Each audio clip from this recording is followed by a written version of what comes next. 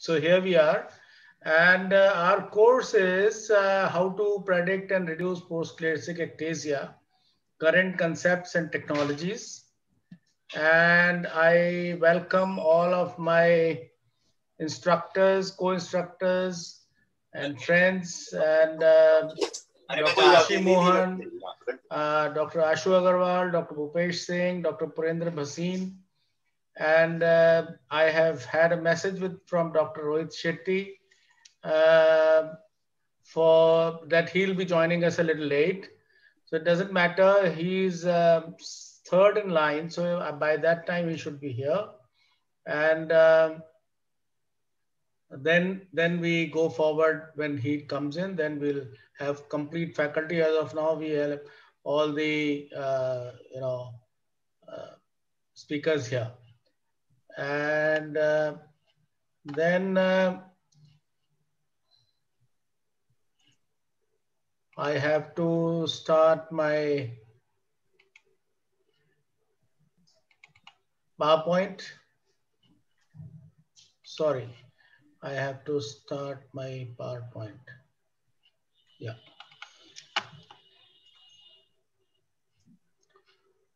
And here we are. So can you see my PowerPoint? No? No, sir. Okay. Okay, here we are.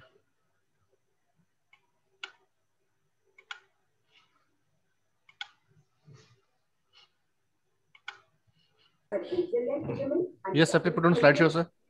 Yes, sir.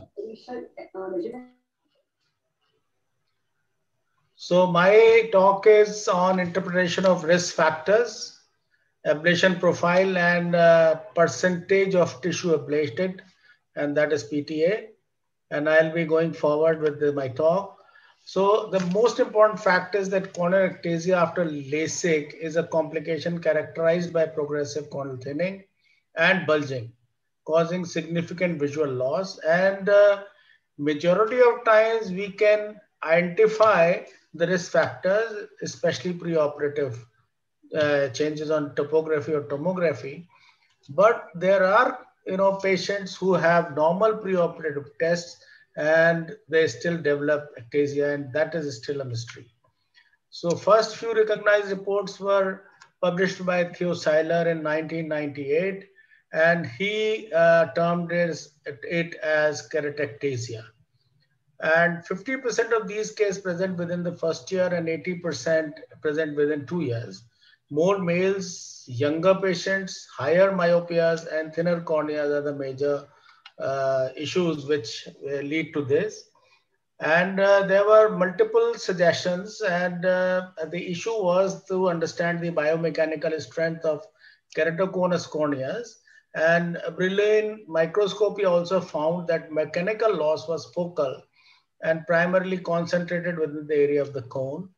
Uh, the, uh, so this is basically a small optical zone of the ablation was important. And uh, transmission electron microscopy found that there is epithelial hypoplasia or hyperplasia. There are breaks in the Bowman's layer, hypocellular stromal scarring, thin residual bed strengths, and uh, interlamellar crafts and thinning and loss of rigidity in stress-bearing regions of stroma. And uh, these factors were, you know, found. So what LASIK uh, risk factors were uh, too thin or irregular corneas in the large pupils, high refractive error, unstable vision, dry eye, younger age, or degenerative or active immunological disorders. So review of the retrospective cases gives us uh, improved surgical skills. Screening criteria evolved. Uh, the residual stromal bed thickness analysis was done and thin cornea or thick flap are important risk factors.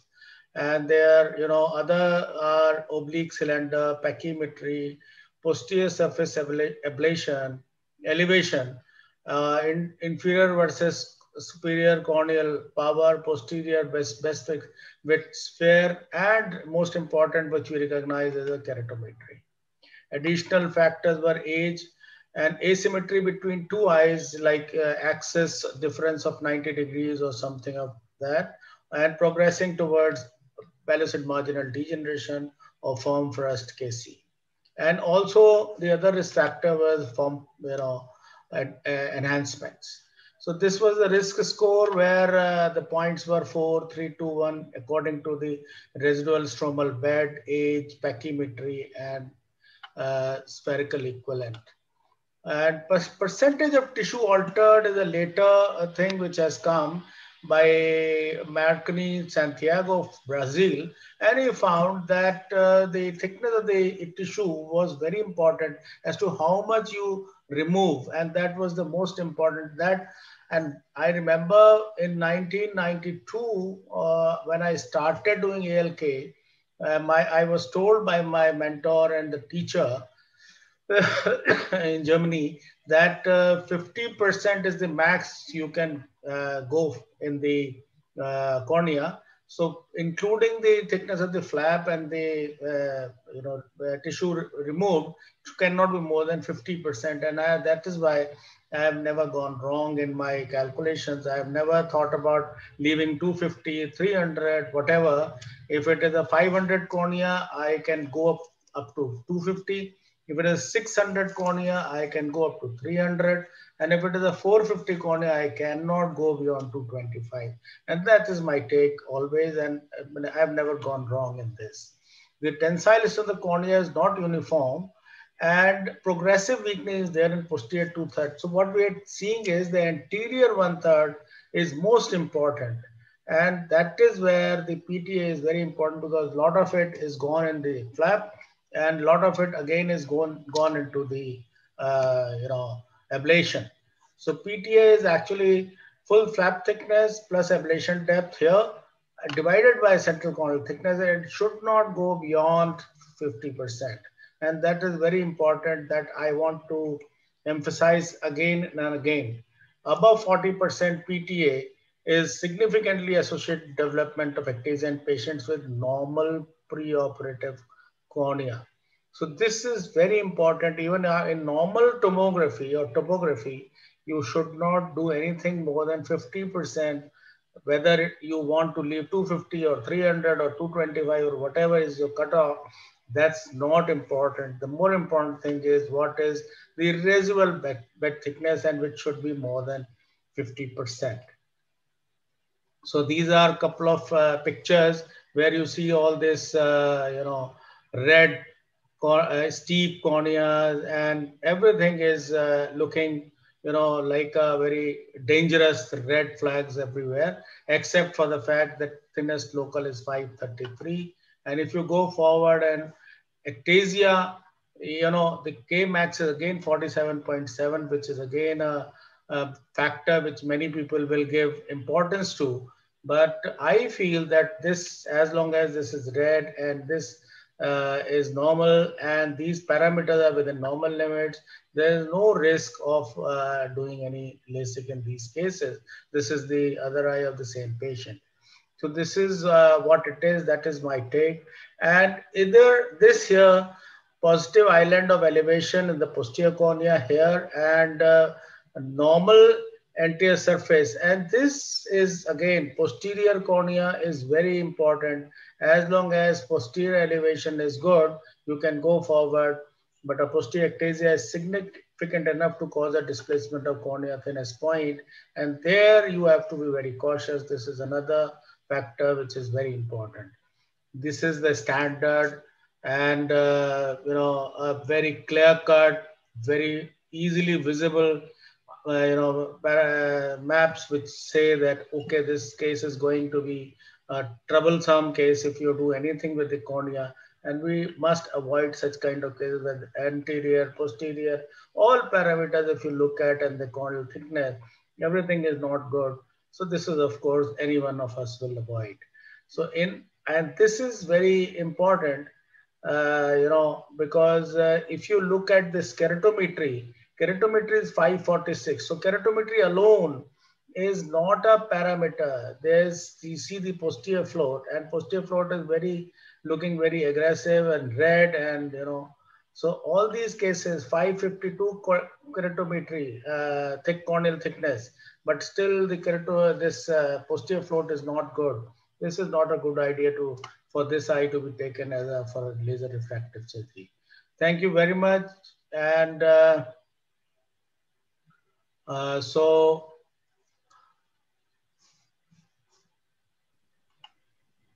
Okay. So any questions on this and then we go forward. Yeah, okay. I don't know what has happened. No questions, sir. Chat box. Questions.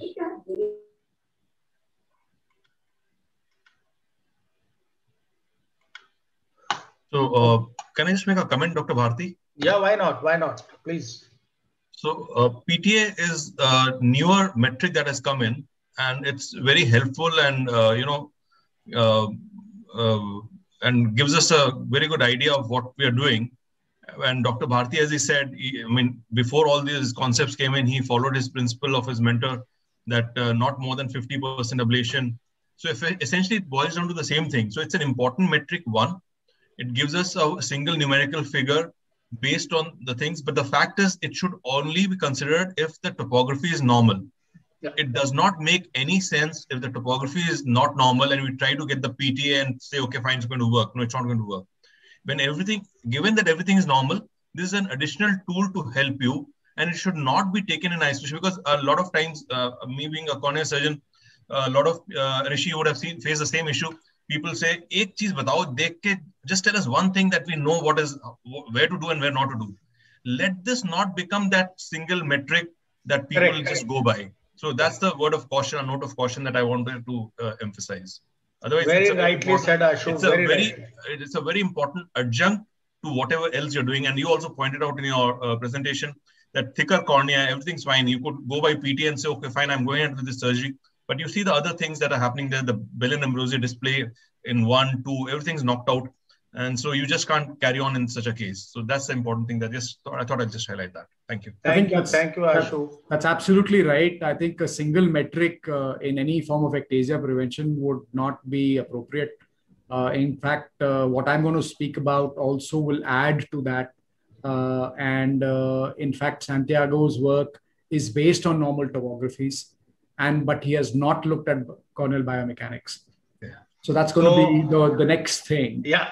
So next speaker is uh, Dr. Rishi Mohan, and he will be talking the field of his interest, interpretation of biomechanical analysis. He is a great ophthalmologist and a scientist, Dr. Rishi Mohan. Thanks, Doug. Um, I'm trying to share my screen, and uh, here we are. Oops. Right. Can you see my screen, everyone? Yeah. You can. Okay. So um, we got we've just been introduced to uh, the development of ectasia, and uh, Dr. Bharti has very nicely introduced the subject. And thank you so much for having me on the course, Sudhank, along with the lovely co-instructors. We had the experience in the past, and I've greatly enjoyed this course. So no financial disclosures, uh, though I wish I did. Um, so we all know what the keratectasia is. It's a progressive anterior shift with central steepening, thinning, astigmatism, uh, myopia, uh, irregularity, and then uh, visual symptoms. And uh, it used to be fairly common. It has reduced, but the number of surgeries have gone up so much that we still do see our occasional ectasia patients. But it used to be almost half percent uh, going back into the early years of refractive surgery.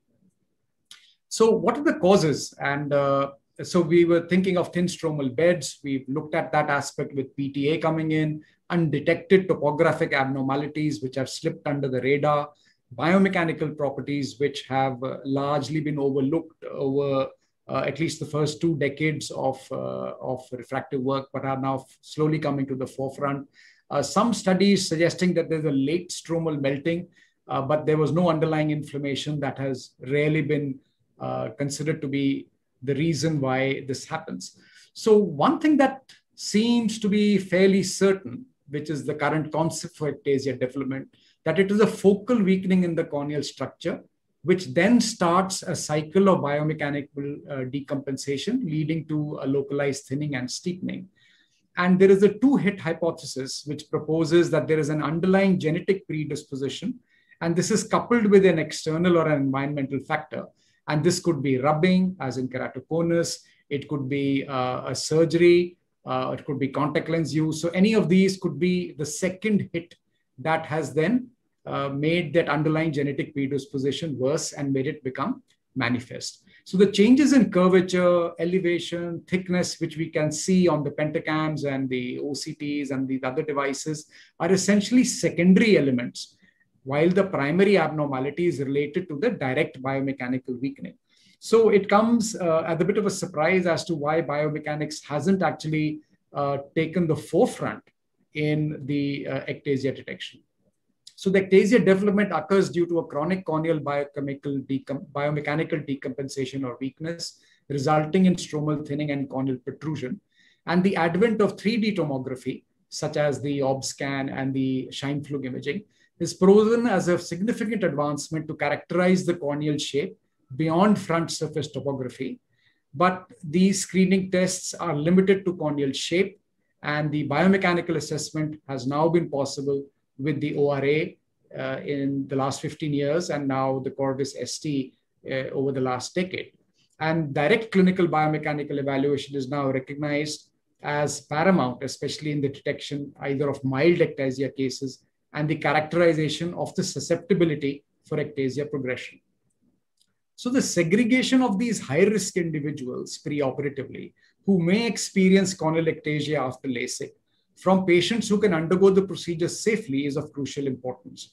And this we can do by looking and understanding what biomechanics really is. So look at this coil spring, which is the uh, automotive uh, uh, shock absorber, and it comprises of a spring element, which is here, and a viscous damping element, which is here, the shock absorber, so to speak. And the strain or the deformation that one gets is directly proportional to the stress. The more the stress or the applied force, the more is the deformation. It is independent of the length of time or the rate at which the force is applied. Whereas the viscous resistance, which comes from here, is a resistance based primarily on the speed at which the force is applied. And it is these two uh, principles in the corneal tissues which allows us to look at uh, the corneal biomechanics. So tonometers essentially make static assessments. That means they will make an assessment on the corneal surface when applanation has been reached, which is a steady state. Whereas the ORA and the Corvis ST make dynamic measurements and they monitor the entire movement of the cornea in response to this air impulse. And that is what allows us to capture these, um, these abnormalities. So what is the problem with these corneal thickness based assessments? One, is that all corneas are not the same and thickness is not resistant. So if you take, say, a piece of pine wood and a piece of oak wood, the same force that would bend pine will not bend oak. And that tells us that thickness is not really the only, only uh, thing that is in, the, in this area. So the, uh, the, uh, uh the objective uh, to produce a minimal ectasia and to minimize the potential by leaving a minimum thickness of cornea in place is not entirely satisfactory because of the unknown biomechanics of that particular cornea. And thickness is not strength, as I've said earlier. There may be soft corneas which require larger residual stromal thicknesses to be left behind. And there may be hard corneas which may be able to tolerate more aggressive ablation safely. Now let's look at this population. So here's a population in red where there is an average preoperative hysteresis seen by a biomechanical device like the ORA. And we know that the C, C, CH goes down along with the CRF following LASIK. But you can see in this particular patient here that this average, the pre, the pre-LASIK CH is lower than the average population post-LASIK CH. So this is the patient you need to be really concerned about and actually avoid uh, considering him for a refractive procedure.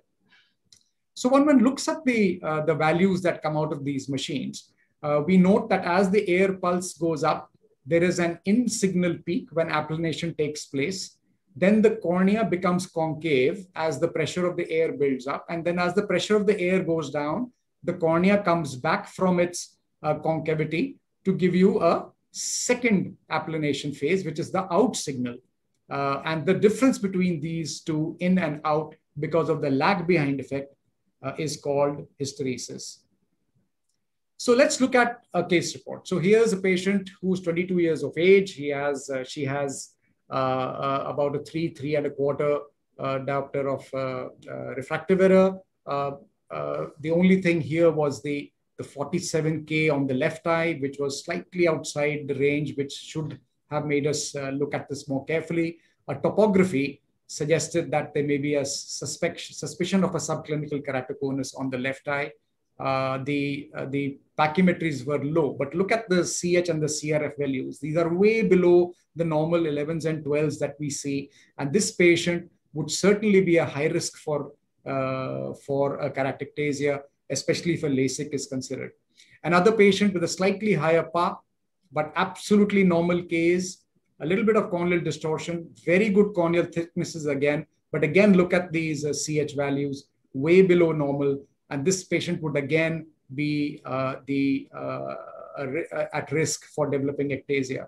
The KMI values, which is the keratoconus match index, which is something that the ORA gives us, also has value. And here you can see uh, both on the left eye in case two and on both eyes in case one to be fairly abnormal. And these are the patients one should watch out for.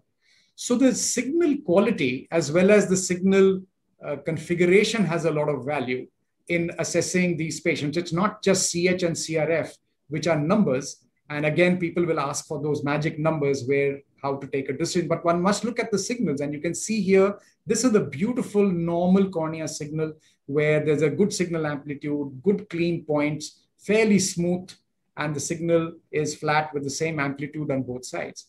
When we look at the keratoconus patients, other than the CH and CRF values and a thin corneal uh, center, there is low amplitude peaks. They are sharp and thin. There's a raw signal bounce that happens because of the tremulousness of the cornea. And there is a noise in the raw signal. And these can actually reduce the repeatability of these values as well. In a subclinical keratoconus, again, one can see that the CH and CRF are uh, both uh, uh, are low, as well as in severe keratoconus, where there is absolutely no uh, values available. The moment the air puff hits the cornea, the cornea flattens, and thereby you get hardly any signal amplitude at all. So here you don't have to look at numbers at all. You no question, this is keratoconus. So identifying ectasia signals also they start to mimic the keratoconus where there is a low amplitude, noisy and messy signals. The signal quality does not improve over time and often is present in one eye and not in the other. So if one looks at the uh, the, the problems here, both keratoconus and normals have a significant degree of overlap in numbers. And that's one of the problems with uh, corneal hysteresis. This is the keratoconus match index, which tells us how the uh, keratoconus patient is likely to be more of a, a, problem here. The, the KMI here is 0.69, uh, which is subnormal. The new Corvis ST is a Scheimpflug technology instrument, and uh, this has generated the biomechanical corrected IOP, like the IOP-CC, the Corvis biomechanical index, and now combined with the Pentacam, the tomographic biomechanical index and the biomechanical glaucoma factor. Just to summarize, mild ectatic cases typically are at very high risk for iatrogenic keratoectasia. If an additional biomechanical weakening is induced, corneal topography and tomography have increased their ability to identify these ectasias at earlier stages. Direct clinical biomechanical measurement is recognized as paramount for augmenting the specificity and sensitivity for identifying cases with this kind of uh, susceptibility. And the corneal biomechanics with the available of this new machines is becoming a key evaluation in ectasia detection and filling the missing link in the screening for high risk refractive cases. Thank you very much for your attention. Thank you, Rishi, for your wonderful uh, talk and very lucid, very interesting, very clear. Uh, any questions? Uh, Rishi, uh, I remember, I must credit you with the fact that you're probably the first one in the country to work on this very important aspect of uh, uh, corneas, the corneal biomechanics. And I remember you used to have a Reichert device. That's correct you still have the same one or I do. Um, in fact, that was a device, uh, and in fact, the Reichert company is still very proud that this this device is now still running for 16 years. It carries a single digit serial number. So it was mm. in the original series. That device is no longer under production. Okay. In fact, Reichert unfortunately got sold. I will say unfortunate because it took their focus away from uh, an equipment that was beautifully being developed. They have a smaller version of the ORA now, which gives us numeric values but doesn't give us this signal. And uh, I find that to be not so useful because those who can, you know, it's like having an ECG versus having the interpretation of an ECG. It's very mm-hmm. different. So the the signal actually gives you so much more information, and there are 37 parameters in the wave which can one can look at. So the ORA in its uh, original format is no longer under production. Uh, it is now uh, gone into the realms of history in a sense. But yes, I have the same device. Uh, the ORA that is now available is mostly a tonometer, uh, where it is being used uh, for IOP correction rather than for ectasia screening. So the Corvis ST, I think, would now be probably be the, the device to look at and to follow for the future. So that's what my question was. Have you compared your device with, but now the fact that it's no longer under production probably makes it redundant. So you yes, it does. Uh, yes, but the, the the data the two devices used to give in the five years of overlap was actually fabulous. Okay. Uh, so there was a lot of uh, correlation that was there. Yes, the correlation was super. Okay, so we can easily one can easily, if interested, go for the Corvis now. Yes, yes, absolutely. It's a wonderful. So uh, I think uh, one thing which I saw with the Corvis ST was that uh, there are a lot of parameters which it throws up and uh, indicates that the uh, the cornea is not fit for refractive surgery, the TBA and such parameters which are there. And uh, I, in my own experience, have seen that all those cases which I found they were okay and I've been doing uh, in those cases, I would say that 20 to 30% of them became, you know, uh, unsuitable for uh, laser vision correction surgery, the LASIK or uh, such procedure. So um, uh, you you think that these uh, machines are slightly overreacting, considering that you have so much experience on ORA and maybe you have compared it with the Corvis as well. Um, yes, I think the Corvis is again, uh, it's uh, it's under evolution really. Uh, so there's so much that that instrument is giving us, which we have not still been able to analyze and fix.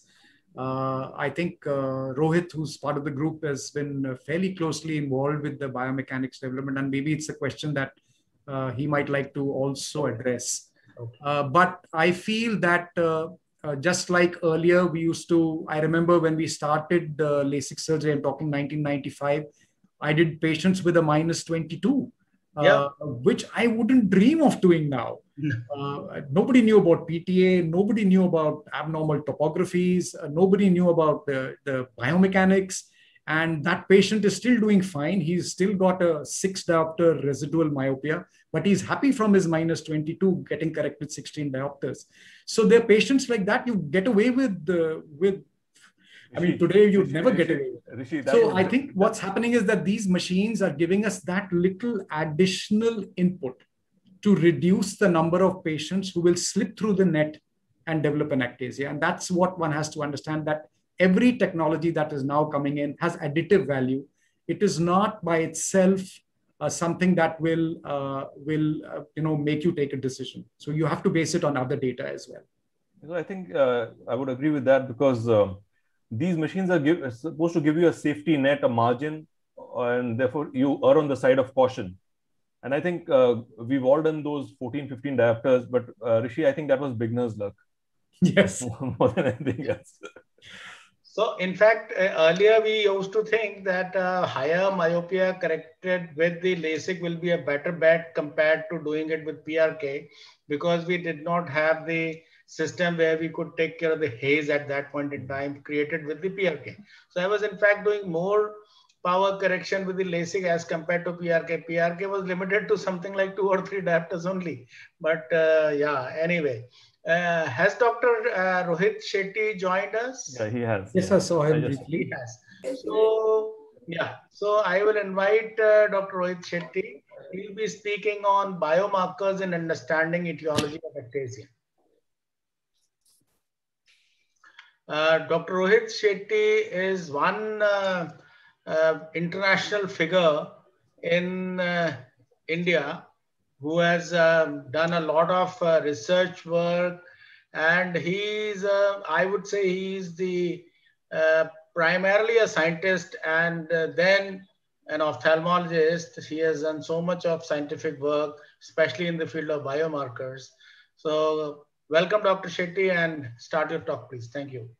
Thank you, sir. Thanks again uh, for this uh, wonderful opportunity. Being sorry, here. sir. Sorry, sir. I interrupted, sir. Please remove virtual background, sir. Please, sir. Uh, you overlap your face, sir. Please, sir. I don't know how to do that here. Sir, please click on start video arrow, sir. Yes, sir. Okay, it's okay, sir. It's fine. And uh, I'd like to thank uh, Dr. Bharti, sir. Uh, we've been uh, doing this course for a long, long time and really enjoyed this. Uh, it's one of the longest courses I think I've been part of.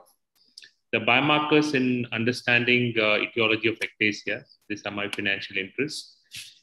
this, I'm not going to go too deep into this slide, but what it just says that there's a huge amount of interaction between what happens from the outside world and what happens in the inside world of corneal tissues. So how does it really affect us? When you look at post-LASIK ectasia or any ectasia, one of the major factors which comes to mind is uh, the power of eye rubbing. And uh, we have started looking at why do people rub their eyes? It's not that they have uh, a kind of fetish just to rub it, or just that there's something happening. One of the things which clearly uh, clearly finds a role is the role of IgE and how it impacts your eye rubbing.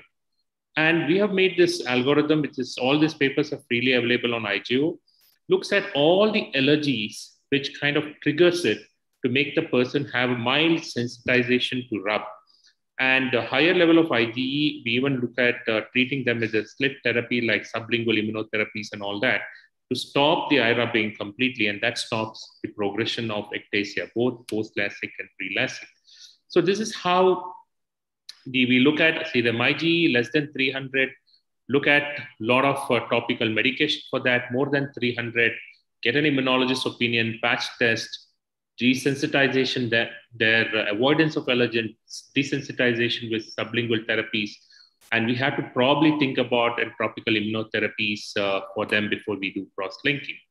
And this is uh, just what I just explained.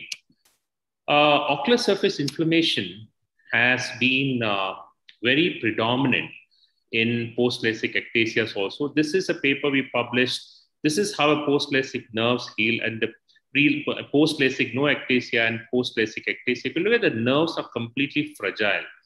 And when we looked at the markers, when we looked at what those tears contain, it's like a kind of a cytokine storm like a picture there with a huge amount of unwanted inflammation, which may be driving the cornea weak.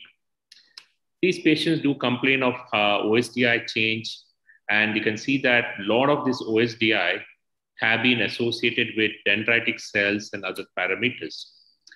We also have uh, issues related to genetic markers, which looks at, uh, we published this work where a you know, stored lenticule, we were able to pick up a gene which was defective in a patient who developed ectasia. Uh, we call it a lysyl oxidase. Now, why is it important and how does it impact our management? First thing we have to understand is the relationship between collagen and inflammation. If you understand that, then it helps us to really think about giving a very proper level of treatment. These are the collagen structures, what I'm seeing, and this areas of these entangled uh, structures or enzymes called lysyl oxidase hold the collagen tighter. We did an experiment where we had the same kind of collagen from the cornea, and uh, we started, uh, you know, inducing inflammation. Once you induce inflammation, we started seeing that the collagen structure became weaker, just like how, would, how you would see it in a keratoconus.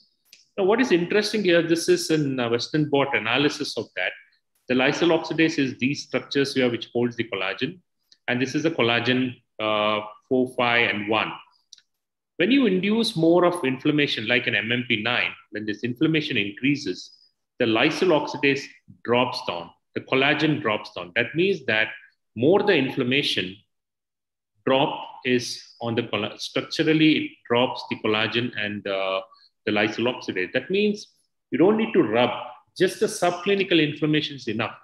And this is what I feel happens in post-LASIK ectasia because you end up in having a poor corneal nerves, more inflammation, more cytokines, improper healing, and this would induce changes. And patients who had habit of again rubbing, it's like a double whammy effect.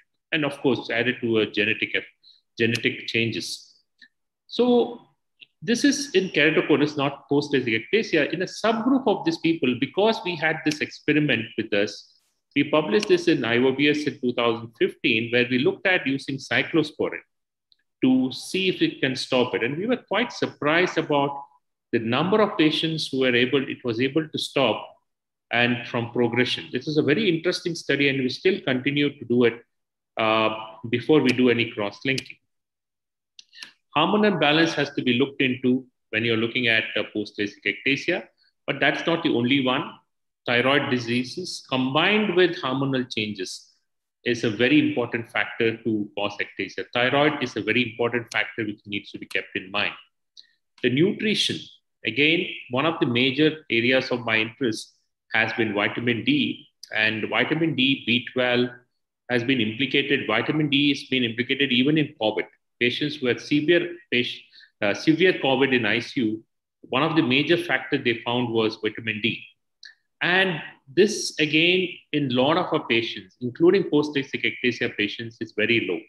So it's again like one more factor to be looked at when you probably need to treat them. And you know, treating them is very important before even you think about a cross-linking or any of these procedures. The question always comes is when do you cross-link? Because you know, once you see a post-LASIK ectasia, first of all, you're feeling very sad because you feel that you've missed something. But I, you can have, you may be having a perfect topography, but you may have had so many of the changes which is have absolutely no control with you like uh, wound healing, the corneal nerves, and all those factors. Just to summary on this, I always look at IgE before I even think about cross-linking. I take care of the vitamin D. I give them time. I give them time for it to settle down. Every time you see an ectasia, there's no need to jump and do anything on them. Take care of their dry eye. Take care of the eye if it's high. Take care, you know, if it's a meibomian gland dysfunction, take care of its steroids. Trehalose works very well with them because it is a it, it, it, it, it changes the uh, relationship of MMP9 and uh, lysyl oxidase. All this has a huge impact in making it more stable. Which is the most ideal procedure? When it's progression, when you're 100% sure it's progressing, then probably cross-linking. I use a Dresden protocol here. And when your quality of vision is poor, then you can look at intacs of cross-linking but when it's stable, try to at least give them time for a year, even though you see a patient coming to you with ectasias. And inferior cone works wonderfully well. And uh, post-operatively, you can look at uh, scleral contact lenses or an ICL at the end of the procedure. For me, uh, single cone inferiorly is probably the best. If there's one indication for me in uh, for intacs today, it's uh, for it's for post-LASIK ectasia. And post-op, again, I look into all this. I use a, some kind of a copper supplements. Copper is necessary for uh, collagen and lysyl oxidase synthesis. So it kind of, I don't know how much really helps, but at least you have something. So why not use this? So that is one of my ways of looking into this. This is an important question. Should we cross-link everybody who comes to you with post-LASIK ectasia? To answer this, we've been studying this uh, new technique called polarization sensitivity, which starts looking at your collagen fibers. This is an electron microscopy picture. This is the darker is your central region. The periphery is your fibers here, which is different, dif different in color. Most of the post-LASIK ectasia patient, if you just remember this, the darker blues are normal, the peripheries are in different colors. And this is how a normal cornea should look. Look at the post-LASIK ectasias you can see that all post-LASIK ectasias do not look the same. Some of them, after seven years, eight years, 10 years, who just show on topography as post-LASIK ectasia, still look the same as a healthy eye. Look at the healthy eye here. And some of them, for example, this one, who is a post nine years one, may be a little different because look at the blues are different. But this topography here may not progress. And if you operate on this kind of patient, you may end up in a more scarring because healthier corneas you cross-link, they end up in scarring or excessive flattening. So post-LASIK ectasias may on topography look scary, but all of them may not progress. And this is the kind of work we are doing. So that's why I said give time for at least six months to eight months. Only if it progresses, do it, because many of them, they might have self-aborted itself. And this is just a, a simple comparison of, again, the same slides, what I wanted to share thank all my team for this and thank Sudhank sir and all the people, uh, all my friends, Dr. Rishi, Dr. Ashu, for uh, inviting me again. Thank you, Dr. Rohit, for wonderful talk. As always, your talk is so interesting and so complete in itself. It is very nice to have you as a faculty here in this course. Uh, anyone has any questions? Yeah. Yeah, uh, Rohit, can I? so the last bit that you talked about seems very interesting. Could you elaborate upon that a little more? What was the? How are you imaging? Is it a simple topography or what? No, sir. Um, we always uh, were very keen to look at the collagen imaging, mm-hmm. and collagen imaging uh, has its own limitation because of the light it uh, uh absorbs. So we developed this OCT which uses the polarization sensitive OCT. It's, a, it's self-made, made in our own lab with help from uh, Optics University of Vienna. They are the pioneers of optics. And this uses the same birefringence principle of a GDX. If you remember GDX, GDX yes, for glaucoma. The same GDX principle is used, but on the corneal plane. So it gives the it uses the it looks at the polarization of the cornea and it tells you what type of corneal corneal collagen you have. So, mm-hmm. Looking at it, a completely new dimension of uh, uh, thought process is emerging about many things because now we are actually showing how a collagen of a cornea is uh, shaped. Okay. And you can also study the same thing on the retina. You're picking up things. This uh, is this is three microns resolution. This the smallest resolution the OCT can do two two and a half on the cornea, uh, around two on the retina. So this is a regular OCT that you've adapted with your. No, sir. It's a completely new hardware. Uh, of uh, it uses the polarized light here, right. like how GDX is. So Rohit, it uh, it assesses the quantum of the collagen and the quality of the collagen, but what about the biomechanics of the collagen? The, how does if it? Sudhank sir allows me, I can share this slide. Why not? Go ahead, please. This is very interesting. I should not take up anybody else's uh, time. Go ahead. You can use another three, four minutes. There's no problem. Sir, this is uh, sir. This is how it looks. Okay. Uh, for example, this is electron microscopy picture of corneal collagen. The peripheral fibers are different. The central are different. You can see that exactly the same thing. This is uh, my picture of how my collagen looks. Look at the biomechanics. The bad D is normal, mm-hmm. and uh, the CBI, TBI are completely normal, healthy eye. Now look at this. The bad D is closer, and as you keep moving in, your blues become lighter and lighter. You know, you can call it the turquoise blue from, you can call it the Indian ink color. The darker is better, and as it comes closer, now you can see that that the layers of collagen is completely changed and that's why you can see that this is and then you can see that the biomechanics which are healthy here is suddenly showing some changes here so it correlates very well to the CBI, sir. So right. I feel Oculus CBI is probably, according to me at this point of time, the most strongest indicator because it's not dependent on your epithelium and other changes on the topography. Yeah, that's that's brilliant, uh, Rohit. I think I, I yeah quite understand that. So um, so the the focal nature of the biomechanical disturbance uh, how are we sure that our biomechanical uh, devices are actually picking it up? Because in the end, the puff is only fired in a certain area. Uh, but how does it pick up, uh, or can will it miss if it's a focal area which is ectatic or eccentric rather? Uh, won't it miss it? Sir, if your uh, early changes of ectasia, it always be sometimes focal, sometimes it will be generalized corneal weakness. If it's a generalized corneal weakness, you'll see the biomechanics weaker even with the corneal thickness of 600 microns. But if it's a local area and it is not in the center, like a pellucid, sir, if you classic example is pellucid, sir. Right. If you do a pellucid, your biomechanics is normal. Because pellucids, half the cornea is normal, other half is abnormal. That's why you do cross-linking on a pellucid. You always end up in a different kind of scarring. Right. Right. yeah.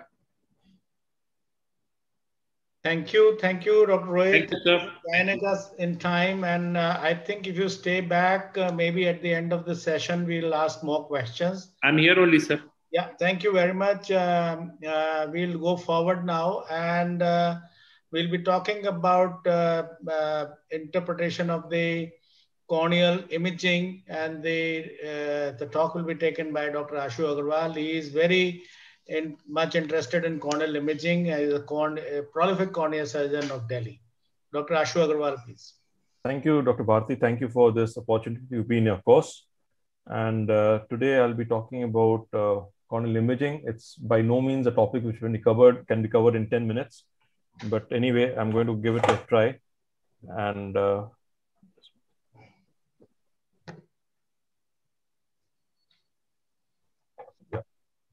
So uh, can you see the screen? Yes, sir. Okay, fine. Yes, we can. Okay, fine. Thanks. So I'll be talking about interpretation of corneal imaging for a refractive patient. And the objective, of course, is to ensure that we do not end up with certain unfortunate incidents like keratoectasia. No financial interest in any of the devices, equipment, techniques mentioned. So corneal topography essentially is the essential component of refractive screening now. And the objective is to detect corneas with ectatic disorders, established ones, and also which are easy to detect, and also detect corneas which are at risk for ectasia, which is the more difficult part. And therein the need for some newer devices. So topographic, topographic systems can be Placido ring system based, like the reflective ones, which we've been using traditionally for many, many years since the residency days, and the elevation based, which are the scanning slit system and the Scheimpflug camera based. So uh, the Scheimpflug elevation topography is a standard of care now for refractive screening. The Placido alone would not work well. There are combination devices which would help.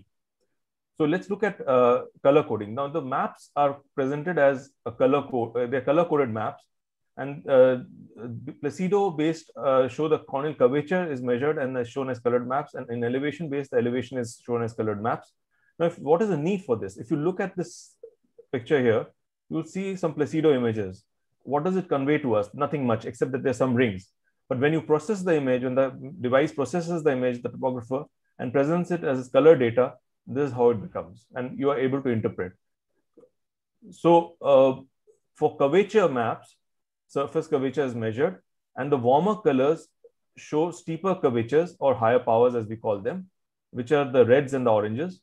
Greens are more of the usual curvatures, and uh, represent normal corneas. And the cooler colors like the blues, they show uh, relatively lower powers or flatter curvatures as we call them.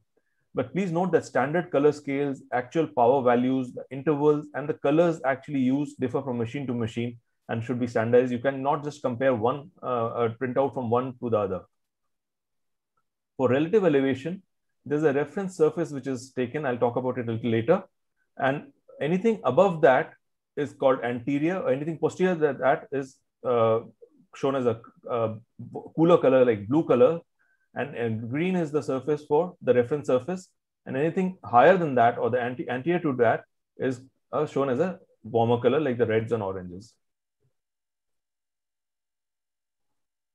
So these elevation systems provide much more information than topography. And the, the, we have, the, as I said, the scanning slit based or the Orbscan and the Scheimpflug camera based like the Pentacam, Sirius, Galilei. And there are various other refinements also in each of these. So now why curvature and why why just why not just curvature, which was tradition and elevation now? So if you look at this sphere, and in this there's a segment called CD, which has which would have been here but has been depressed, and it's at a different elevation. It's a lower lower elevation. If you look at it, the curvature of A and B is the same in C and D. So if you're limiting ourselves to curvature maps, we would say that the curvature is the same, but the actual fact is that it's at a lower level. So elevation maps give us some more information too. Now, elevation maps seen by itself would not mean much. Now, this is a Google image of the Himalayas, which we know are more than eight kilometers in height from the sea level. So if you just look at it, it does not convey much. It's a flattish thing. Okay, you see some uh, snow-capped peaks over here. But when you take it with compared to a reference surface, which is a sea level, you realize, oh, it's a pretty high one. And if you were to see uh, show a bigger uh, area, the sea would have been covered. So uh, reference surfaces are close fitting surfaces and we try to get a best fit surface. So for instance, if this yellow line is the uh, actual object, objective, uh, and then we get a sphere, a surface which is closest fitting to it. And then we compare. So anything higher than this close fit sphere, best fit sphere would be shown as a warmer color. Lower ones would be shown as cooler colors. Now this thing would make a little more sense, which I talked about. A, a reference surface, which is green, and anything higher or anterior would be warmer, lower or posterior would be in the blue uh, cooler colors. So these are the various, uh, so I'll be focusing on Scheimpflug topography, which I feel is the standard of care for refractive surgeries. And there are various devices, the primarily the pioneer and so-called gold standard now is the Pentacam, but the other device is also very good. So Pentacam has a rotating Scheimpflug camera, which provides sharp and crisp images of the anterior segment and provides a lot more data than traditional topographers and therefore is known as a tomograph. It provides data from anterior corneal surface to the posterior capsule of the lens and it is based on the Scheimpflug rule. What happens basically is that in conventional cameras, the object plane, that is the film plane, the lens plane, and the subject plane, that is the subject, uh, they are all parallel to each other. Whereas in Scheimpflug cameras, they can be oriented at an angle to each other and they intersect at a point called the Scheimpflug interaction or line, intersection or line. So this is the Scheimpflug camera. If you remember these older cameras, this is the lens plane, the film plane, and the subject plane, and they can be need not be aligned. And the advantage is that images along the optical axis of the eyes can be assessed too, and which was a big disadvantage with the Placido-based topographers. So uh, this these systems give us precise measurement of the central cornea and correction of eye movements is there. There's very easy fixation of uh, target for the patients. And it, uh, the acquisition time is extremely short. In two seconds, you get a lot of data. So they do uh, help us analyze anterior chamber. The pachymetry maps are given, topography maps, both anterior and posterior are given. The elevation maps are given for both the anterior and posterior surface. It helps us analyze the cataract. The Belin-Ambrosio enhanced ectasia display is given, which is very important. The Holladay report, which when you use for post-refractive surgery, cataract surgeries, the tomography is there and the corneal wavefront all less than in two seconds. So how is the data presented? There are various display formats. The commonest one being the four-map refractive, where you have the front surface, the back surface, the corneal thickness, and the tangential or the curvature map. And here you have the identification data. The, this is the corneal front surface keratometry values and the astigmatism and the axis at which it is, the corneal back surface. Then you come to the pachymetry, which is there, the center, the thinnest, and the local point, and the uh, anterior chamber depth. So this, this uh, is another display where you get the keratoconus indices are given, and the pachymetric display is also given where uh, the this helps us in uh, basically gives us pachymetry across the surface of the cornea. And you can say how see how it progresses the how the pachymetry changes across the surface of the cornea. And it's a good screening tool for LASIK patients. So coming specifically to the screening parameters we check the best size of the best fit sphere because this influences the borderline numbers if it's an 8 millimeter size best fit sphere the numbers should be would be different compared to the 9 millimeter one and then we look at the anti-elevation map the central and the paracentral areas in the 9 millimeter zone best fit map sphere, the anti-elevation, uh, the highest point should not be more than 15 microns because then it is indicative of keratoconus. Less than 12 is normal and anything between 12 to 15 is suspicious.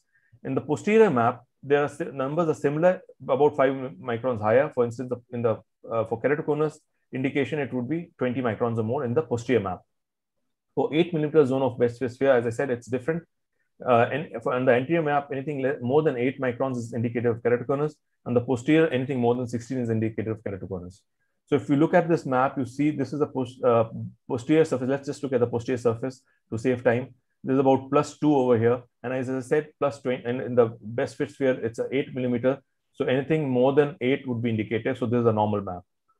And here again, 8 millimeters, but the values here are 74 and 59. So this is much more than uh, 12. So then it is indicative of uh, keratoconus. Uh, there could be a keratoconus. So you need to be cautious. But when you look further, you see the uh, keratoconus indices all are highlighted over here. They're all positive. So coming to the other important aspect, the Belin-Ambrosio enhanced ectasia. Now, what does it do? As usual, it will uh, depict the whole sphere. Uh, the best fit sphere is for the whole sphere, and then enhance by remove ignoring the central four millimeter zone around the thinnest spot. And the advantage is it gives us the pronounced cone and a traffic like evaluation. So if this were the keratoconus cornea, this is the central bulge.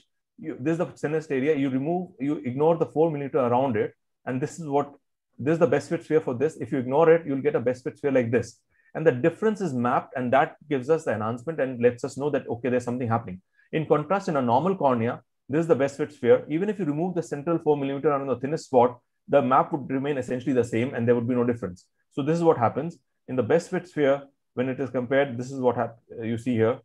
And when you see the, see the difference in the map, this is the normal standard best fit, this is the enhanced best fit, and the difference here shows a higher, uh, shows the red light, uh, shows this uh, difference here.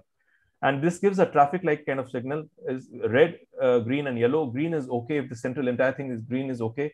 And uh, red shows that it's abnormal, and yellow you should be suspicious. So this is another map to show uh, Belin Ambrosio enhanced display. Uh, th this is Belin Ambrosio display 2, where the D value, anything more than uh, 1.8 or 2 is considered suspicious. So corneal thickness spatial profile essentially shows how the cornea is thinning out towards the periphery. And uh, any dipping down of this axis over, in these graphs, cutting across, they should all stay between the dotted lines. Any cutting across is uh, doubtful. The last important point that I want to discuss is the Ambrosio relational thickness ART map. Basically, it uh, is the relation between the uh, ART value and the progression, pachymetry progression index, which is all given in the map. And any cutoff value, it is uh, it is shown over here in this area. It's 456 here. Anything uh, uh, uh, Uh, uh, less than 400, we should avoid refractive surgery. That's a recommendation. And anything more than 339 and uh, less than 339 is indicative of keratoconus and 391 is uh, susceptibility for ectasia. So here you see it's a normal art value. Everything is looking normal over here. The, these Belin Ambrosio displays one is good two is good. The lines are normal the graphs are normal ctsp profile is normal. The artmax is good and in contrast in this map you see the values here it's plus 22 it's a little more for a 9 millimeter it should not be more than 20 it's, it's become suspicious you look at the Belin Ambrosio display it's showing uh, some abnormality here the Belin Ambrosio display 2 is also one more than 1.8. It's a little suspicious. The graphs are slightly dipping down, but not cutting across. But the art max value is 377. As I said, anything under 400, you should be suspicious. And 392, you should be suspicious and avoid a refractive surgery in the first instance. In this patient, I would like to observe for some more time. Here also similar features. The other eye of the same patient, uh, the art max is normal. So uh, is, uh, is not is suspicious. Sorry, 362. And uh, sim uh, similarly, in this patient, you see here, actually, you could observe the art max is 400. And this is, if you notice, a very high astigmatism, and that could probably account for it. So we still haven't got over high astigmatism because sometimes they mimic these changes in the corneas. I think this is a good time to conclude. Uh, topography is an important tool today and requires some effort to understand initially. And uh, it is important for refractive surgery screening and detecting ectatic corneal disorders. Newer topography systems perform multiple functions and may provide more value for money. But uh, remember, there's no ideal and perfect system available yet, and we still have to look for it and use a clinical judgment. Thank you for a patient hearing. There's some scenarios, but I think we'll I'll skip it in the interest of time. Thank you, Ashu. Thank you, Ashu, for making this very difficult subject very understandable, very simple. And I appreciate your efforts. You have been taking this talk for many, many years now, nearly, I would say 15 years. We have been doing this course and you have always taken this imaging system, which is excellent and uh, makes the things so easy. Uh, I'll go forward. I'll ask uh, Dr. Bhupesh to take his talk on intraoperative variables and their modifications. Uh, Dr. Bhupesh Singh is a, primarily a cornea surgeon uh, and uh, doing a lot of refractive surgery, including SMILE. I primarily doing a lot of SMILE. Uh, but he'll be talking about, about the, uh, the, the, variables. Dr. Bhupesh, please. Thank you, sir. And uh, my topic is intraoperative variables and their modification.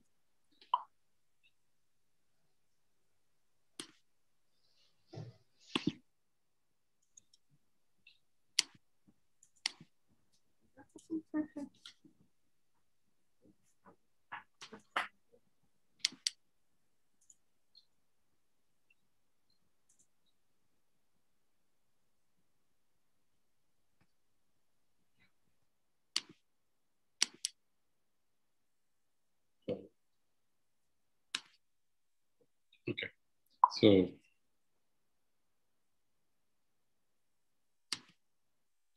So uh, normal corneal topography is the prerequisite for performing refractive surgery, and it's nicely explained by Dr. Ashu. Understanding corneal biomechanics is another important factor, which is discussed by Dr. Rishi Mohan. And there are multiple factors that can affect corneal biomechanics adversely and turn normal cornea into ectatic cornea. So this, is a, this was a study published in Seminal Ophthalmology in 2018, where they have find out the incidence and clinical characteristics of post-LASIK ectasia cases. And they have reviewed around 30,000 cases, out of which they found that the in cases of ectasia in which the patients develop ectasia, the thin cornea was the was found in almost 50% of the cases, in which the thickness was less than 500 micron. Another important factor was anterior topographic map irregularity, that is asymmetric bow tie, in around 40% of the cases. The next risk factor was the ectasia risk factor score of more than three was present in 30 in 40% of the cases. Next is percent tissue thickness ablation, which was seen in 20% of the cases, in which PTA was more than 40%. Other important factors that they have found is low residual stromal bed of less than 300 micron in 30% of the cases. So these were the some of the risk factors so in this presentation, I will discuss how we'll play with these factors and get a good outcome in these cases. So the common risk factors for ectasia are younger age, thin cornea, high myopia, thicker flap, and low residual stromal bed. So if we talk about modifiable factors to achieve good post-surgical outcomes, flap thickness is one with, with, with, which we can play around optical zone, optical zone size, stromal hydration, and surgical technique. So these are different interdependent variables like flap thickness, residual stromal bed, optical zone, pupil size. So these are interdependent with each other. For example, if you use a thick flap, you will have low residual stromal bed. Or if you use a larger optical zone, again, you will have a low residual stromal bed. So these are interdependent factors. So first of all, I'll discuss with flap thickness. Uh, LASIK flap creation is crucial step in determining the outcomes of LASIK surgery. Flap thickness may vary from 90 micron to 120 micron in routine LASIK cases. Flap thickness sometimes goes up to 150 micron in some cases due to incorrect technique or wrong suction ring selection. This was a study in which the, they have seen the factors affecting laser uh, LASIK flap thickness comparison of two microkeratome heads. So different keratome heads can have a different accuracy in flap creation so they have compared the SBK 90 microkeratome in group 1 and M2 90, 90 microkeratome in group 2. And they found that there was a statistically significant difference was seen in flap thickness between different surgeons. And they also found that the if you use larger suction ring, the flaps are even thicker. So in this study, these are the factors which are positively correlated with the flap thickness, and there are some factors which are negatively correlated with some, some with flap thickness. So central corneal thickness, room humidity, larger, larger suction ring, and right eye. So they have a positive correlation to, to get a thicker flap. And whereas patient's age, preoperative sphere and cylinder, and room temperature have a negative correlation. So we have to look carefully look on these factors while performing effective surgery. Uh, uh, there is a study which compared the flap thickness with microkeratome flap versus femtoflap and they found that the deviation between the dif uh, different flap thickness in microkeratome group versus femto group is entirely different. The deviation is almost more than 20 micron was observed in only 0.73% of eyes in femtosecond group, whereas in microkeratome group, this deviation is in 42% of the eye. So definitely femtoflaps are more superior and more accurate. So femtosecond flaps have a better, better corneal position there are lesser chances of post-LASIK epithelial growth because of the better position. They are tissue saving because you can make uh, 90 micron flap easily with femtosecond laser. In cases of high myopia, femtosecond flaps are better. And in cases of low central corneal thickness, again, femtosecond, femtosecond flap is better. Coming to the optical zone.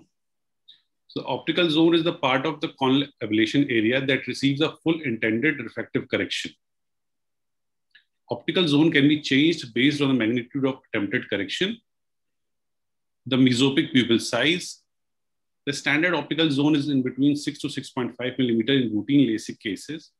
Use of larger optical zone places patients at higher risk for development of post-LASIK ectasia. So we have to be between 6 to 6.5 millimeter, but sometimes pupil size, because of pupil size, we have to change this optical zone. So this was a paper where they have made three groups with different optical zone. In group one, the optical zone was 6.2. In group two, it was 6.5. In group three, it was 6.9 millimeter.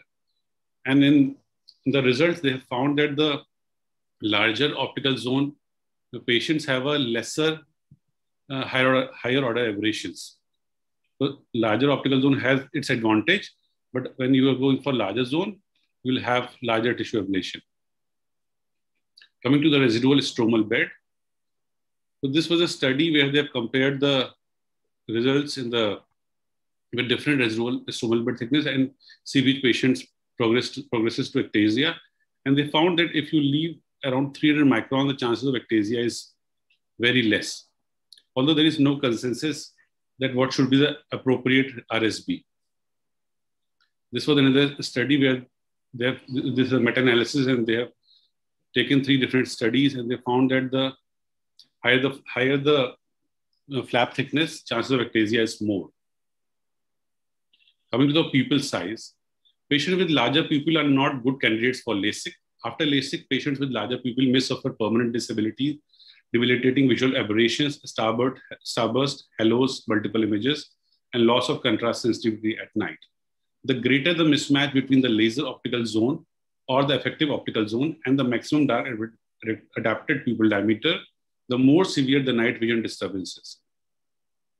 So this is an interesting photograph in which you can see if you reduce the reduce the uh, treatment zone from 8 millimeter to 6 millimeter, almost your untreated area was is reduced by 44%. So slight change in, in the treatment zone or pupil size can significantly increase the ablated tissue. The dark adapted pupil diameter is an important clinical variable when planning refractive surgery. The greater the initial myopic level, the more the pupil size affects. So there is a clear dependence exists between the initial myopic level and effect that pupil size can have on the retinal image after laser refractive surgery. Stromal, stromal hydration also has a role in achieving good results after LASIK surgery. So one of the variables during LASIK is the amount of stromal hydration that exists during excimer ablation. Lifting the flap causes the stroma to begin to dry. So limiting stromal hydration during refractive procedure is important to achieve the accurate results in LASIK surgery. If the stroma becomes rapidly dehydrated, the laser may ablate more tissue than intended, causing overcorrection of refractive errors. If the stroma is too wet, there is chances of undercorrection of refractive errors. So we have to maintain adequate hydration. Unexpected refractive outcomes can include astigmatism and central islands if there are fluctuations or transient changes in corneal hydration during the surgery. So uh, stromal hydration has to be adequate and throughout the procedure. Preoperative screening and planning is the most crucial part of refractive surgery, and modifying treatment variables can help in achieving good surgical outcome and avoid post-LASIK ectasia. Thank you.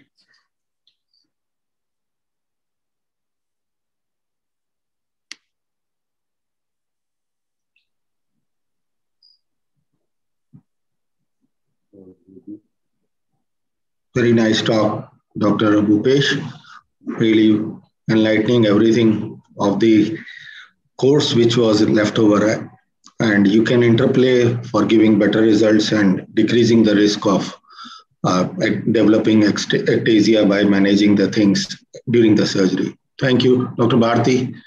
Uh, before I invite you to talk, there were a couple of things very interesting which are brought out with the by the talk from Dr. Bhupesh. And uh, uh, one of them is the uh, room conditions, the OT conditions, the humidity, temperature, and leading to and their role in you know situations which can lead to ectasias, whereas uh, uh-huh. very preoperative measurements may be within the normal limits. So this is very interesting uh, thing, uh, despite and despite the fact that you have checked everything, still the room conditions like humidity and temperature play a very, very important role, which uh, should be emphasized in all the OTs, uh, especially the laser OTs that uh, we are looking at. Uh, any comments from Dr. Rishi on that? I think it's uh, um, I think you absolutely brought it out. The room temperature and the room humidity has to be kept in a very narrow band for consistent results. Uh, because the and also the technique, the time that it takes for you to uh, you know put the flap, or reflect the flap, the time it takes you to start the machine, the time it takes you to deliver, and the new machines deliver the treatment so quickly as compared to the machines going back uh, 15, 20 years, which used to take a good minute. It used to go from one stage to another stage to the third stage, and it used to take time while the cornea was exposed.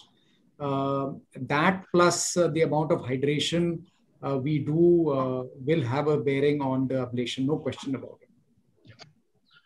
So thank you, Dr. Bhupesh. Any other question, uh, if there's any? Otherwise, we'll go forward and I'll invite Dr. Purendra for the most important part of this uh, session, which is uh, playing more and more important role, the overview of the whole session, along with the legal issues, which are very important today because more and more people are getting, uh, uh you know, legally very educated, and legally uh, they they find try to find something uh, for legal, you know, issues that can crop up.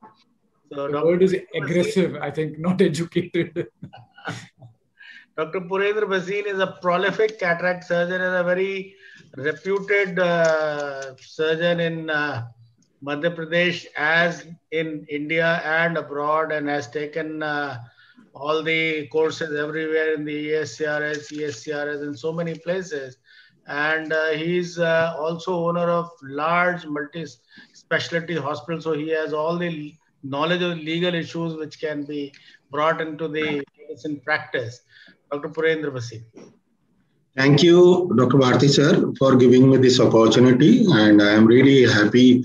And uh, I have taken a lot of points from this course, uh, which is a really wonderful course. And uh, I will be sharing my this thing of uh, overview and legal issues. All the talks were very interesting, and all all the speakers including you, were very, very interesting. And they completed the course very nicely, including Dr. Rishi Mohan, Dr. Uh, Ashu, Dr. Uh, Rohit Shetty, etc. Post-LASIK ectasia, as has been said earlier by Dr. Bharti, is a known risk factor and a rare but serious complication of laser visual correction. There occurs progressive steepening and thinning of the cornea after corneal refractive surgery. It can occur following any kind of refractive surgery like LASIK. It can be there in surface ablation. It has been seen in with SMILE. It was seen with radial keratotomy or astigmatic keratotomy surgery. The hypothesis is that corneal refractive surgery disrupts and thereby alter the structural integrity of the cornea. LASIK reduces corneal structural integrity both by reducing overall available load-bearing tissue and by shifting the load-bearing responsibility to the structurally weaker posterior corneal stroma because we are making a flap and we are giving the load-bearing responsibility to the residual stromal bed. Uh, Post-LASIK ectasia, it was first reported in 1998 by Theo Seiler in a case of forme fruste keratoconus. In majority of cases, it occurs within a year of surgery. In one surgery, it is reported to occur late 6 to 11 years after the LASIK surgery and has been uh, pointed out by Dr. Rohit Shetty that it has got some association with the hormonal changes, PCOD, and uh, development of thyroid. So this, these can be the risk factors which can lead to uh, changes, uh, systemic hormonal changes and changes in the corneal surface and corneal integrity in the later age group uh, during pregnancy, lactation, etc. Recent biomechanical studies have reinforced the importance of residual stromal bed thickness after LASIK. Both stress strain analysis and cohesive tensile strength analysis indicate that corneal strength is significantly greater in the anterior 40% of the corneal stroma than in the posterior 60%. Further, the corneal flap contributes minimally to the tensile strength of the cornea after the LASIK. So whatever, so better it is to make a minimal uh, thickness of the corneal flap or do a uh, pro surface procedure, which is now in, increased and uh, it has gained popularity. Thus, LASIK reduces corneal structural integrity both by reducing overall available load-bearing tissue and by shifting the load-bearing responsibility to the structurally weaker posterior corneal stroma. When the complication arises, it does not necessarily mean that the patient was a poor candidate for the surgery, that the surgery was contraindicated or that there has been a violation of the standard of care.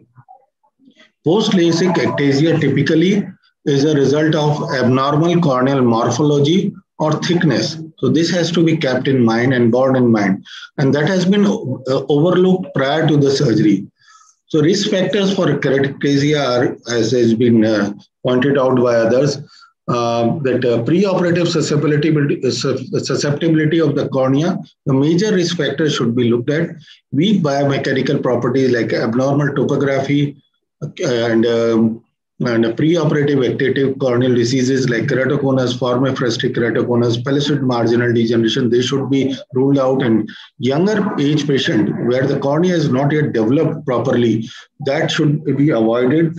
Patient uh, sometimes the keratoconus they uh, uh, they appear at the later age group, and if you are operating at the younger age group, so we are missing that. And uh, low preoperative pachymetry is indicator uh, for the keratoconus development. Uh, risk factors for keratoconus are a severe biomechanical impact from surgery occurs by the high percentage of altered tissue, as has been very rightly pointed out by Dr. Bharti, that uh, PTA more than or equal to 40% is at risk. Low residual stromal bed due to excessive laser ablation for high correction or multiple retreatments when the residual stromal bed thickness is equal to or less than 250 micron or half of the pre pre-operative thickness, then there is an increased risk. We have made a thick LASIK flap. This has been rightly uh, uh, pointed out by Dr. Bhupesh. Corneal thickness, degree of myopia, and residual stromal bed are interrelated and they can be played upon during the procedure. And we can decrease the risk of development of keratoconus. Small treatment zones causing abnormal focal stress distribution is another important factor which can lead to development of the keratoconus. And lastly, uh, there is, if there is any severe trauma after the surgery, like aggressive eye rubbing, which is common with uh, allergic conditions or when we have done LASIK enhancements. And if there is any source of blunt corneal trauma, these are the risk factors which can lead to development of keratoconus. And most reported cases of ectasia after LASIK had at least one of the risk factors which are present with them. There have been case reports of ectasia developing in patients even without the risk factors after LASIK and surface ablation. Ectasia can also occur after uncomplicated surgery, even though candidates are appropriately screened. So, so but uh, definitely, the role of hysteresis has been said by, said by Dr. Rishi Mohan should be another important factor which has to be taken care of.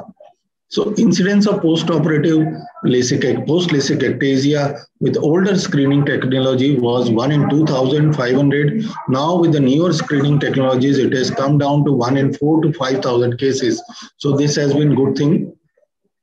And coming to the second part of the talk of the malpractice lawsuit, which uh, now in our country has also increased in last few, few many years, and they are uh, they bear an enormous responsibility on us.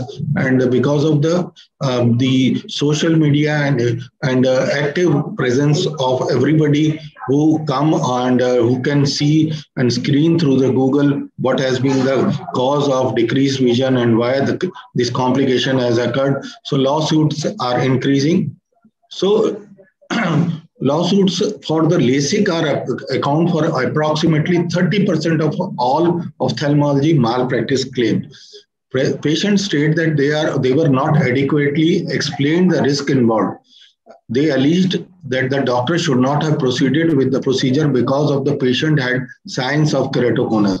So high astigmatism, high K values, thin corneas, they can be a risk factor if they are not been uh, addressed or the we have not asked the patient that uh, this is these are there are some risk factors in your condition but we can try it and if it develops then we can manage it we have to come for frequent follow-up a prominent New Jersey laser eye surgeon has agreed to settle a medical malpractice lawsuit for $2 million after performing a corrective vision procedure on a man who should not who should have been ruled out due to a pre-existing condition. The lawsuit alleged that he was not properly screened before undergoing the eye surgery as he had a condition known as steep corneas, which led to the bulging of the cornea known as corneal ectasia in both eyes.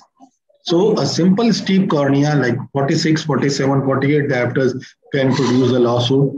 Uh, on August 12 in 2011, a judgment in the amount of $45 million was entered against LASIK surgeon Nick Sarli, MD, and his professional corporation. On June 2009, a Manhattan jury returned a verdict against uh, Dr. Nick Sarli uh, against uh, versus Dr. Devdas for his medical negligence in having performed LASIK surgery on a patient who was not a good candidate for surgery because of the condition of the corneas. As a result, the evidence showed that Mr. Devdas developed a visually disabling condition like post-LASIK ectasia. So post-LASIK ectasia is an important condition if it appears a patient can take you to the court of law. Another case with the similar uh, condition of post-LASIK ectasia, the patient had uh, the doctor be there.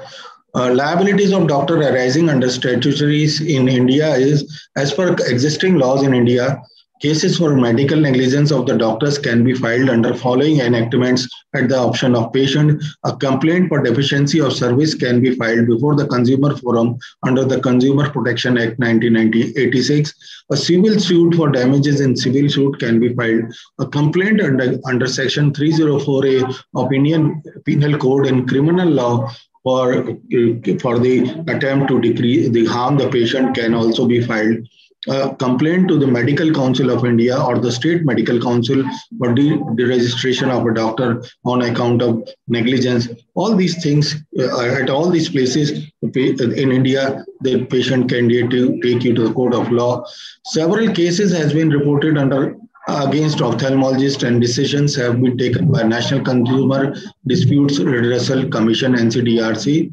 It is reported that 942 cases of medical negligence were decided in from 2002 to 18. Out of these, 30 were related to ophthalmology. A total of 73.3% of the alleged cases of medical negligence in ophthalmology were proved, and compensation for the cases ranged between 2 lakh and 10 million.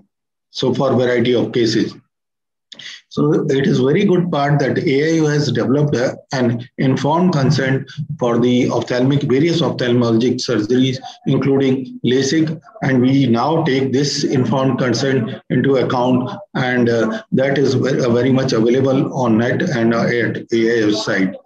To summarize, thorough preoperative workup should be done, strictly follow the guideline, explain all pros and cons to the patient and the attendants, if in doubt, better to wait or do not go for corneal refractive surgery at all. Take opinion from your experienced colleagues and uh, take a consent, informed consent to conclude. If you know the enemy and you you know yourself, you need not fear the result of 100 battles. If you know yourself but not the enemy, for every victory, you will also suffer a defeat. And if you know neither the enemy nor yourself, you will succumb in every battle. So it is better to know it better, uh, the role, the development of ectasia and the importance of corneal topography and stresses and everything which has been uh, uh, the, uh, referred to in this particular course. I thank you, Dr. Bharti, for giving me this opportunity to share my views and uh, share my experiences. Thank you. I must congratulate you on this uh, excellent talk, Purendra.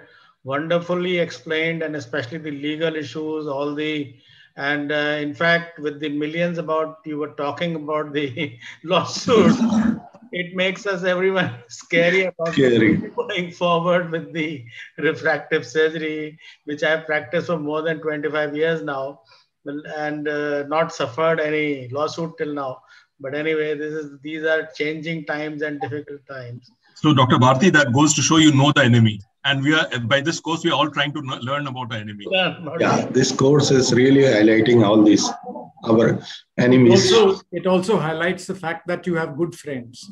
uh, in the end, uh, most suits will happen because of uh, talk by uh, some other practitioner who will say something negative, Yeah. and that's what initiates the process. And I think that's what we also have to take home as a message from Purendra's talk: is to be very careful what you say to the patient who comes to you uh, for another opinion. Very. Uh, that uh, something that I think must be highlighted. So I think doing a good job is one thing, Yeah. but uh, you know things can go wrong, and I can tell you I've had patients referred to me. There's one patient who actually had bilateral ectasias, and she had to get bilateral transplants. To tell you It honestly, I went have to had- that point, and there's no lawsuit. Yeah. So uh, is- the credit I think goes to me uh, because uh, I didn't let it happen. You know, it's just you how you put it to the patient that these complications can happen. The patient person must have tried his best, everything that he could. He has all the proper you know, documentation and everything, and you are a perfectly good case. And so, no, that little thing reassures them, and uh, so I think that's very important. Yeah, I think there are some uh, key take-home points from this. Sorry, uh, yeah, sorry, sir. uh, Ashu, Okay. I'm trying to say that I have had a case of a LASIK surgeon who operated upon his own uh, son, and uh, the son developed ectasia. Oh, So uh, there is there is issues. There are issues where people just think that a couple of things they check or clinically and that is sufficient. But these machines are a great help. Whatever you're using, I think you must be very perfect in uh, using those machines. And I would, uh, at this point, I invite some comments from Dr. Rohit Shetty is here. So please, uh, any any comment on the course or the important part of this? Sir, I would like to uh, speak on uh, uh, talk, what he said about uh, the legal aspect and what Dr. Rishi sir said. Uh, we had always, our chairman used to always say one thing, uh, because our 40, 45% of our patients walking in are second opinions or third opinions, being the tertiary opinions. So every patient who walks in, we know, has you don't need to tell him about the disease. So he always used to say, every time a patient comes from a different place, just for a minute, think how would you treat if it was this your patient who you created a complication? So minute that comes into, and that has been a classic teaching for everybody, PGs, fellows, doctors, that minute you see an ectasia, you would do exactly what Dr. Rishi sir said. You will suddenly become, how would you manage if it you have created an ectasia? You will say that, well, you know, there are different things, and you'll it's been such a wonderful one liner that I don't need to teach anybody anything on that. You know, how you write a report. If it was your patient of ectasia, would you write that the corneal thickness should have been checked? I have seen reports written by people 510 microns, the cornea thick was not good. I mean, come on, minus two diopters, you're correcting 510 is enough. So I feel that everything happens because you assume that it's a good time to put somebody down. If you look at the entire thing, what Purendra sir said can be avoided if you look at yourself as the person who treated that case. Then every single thing from the moment you say hello to the patient to goodbye, I think you'll become completely different person rather than looking at it as oh, it's Dr. Rishi's case or it's Dr. Dr. Bharti's case. I think this is the take-home message for the last uh, 18 years, and I keep telling it to everybody, and it's worked wonders. Thank Yeah. you, very true. At this point in time, I would like to end this session. Thank my faculty who have uh, done wonderfully and the audience. Thank you very much and the AIOS. Thank you, everyone. Thank, Thank you, you. doctors. Thank and you, this was sir. a very wonderfully moderated session by really great doctors, great speakers, and wonderful presentation.